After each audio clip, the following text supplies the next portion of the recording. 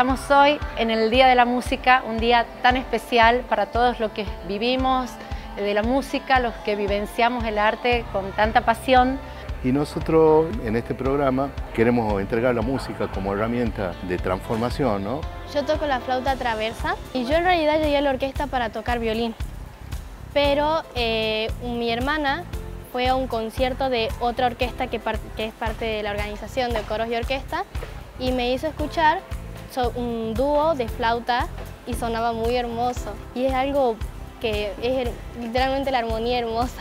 Y la verdad es eh, muy lindo que esté todo esto formado para que los chicos puedan, puedan cantar, puedan, se puedan divertir, puedan aprender sobre todo del arte y de la música. Para que los coros nunca dejen de sonar, para que las orquestas no dejen de tocar. Feliz Día de la Música para todos.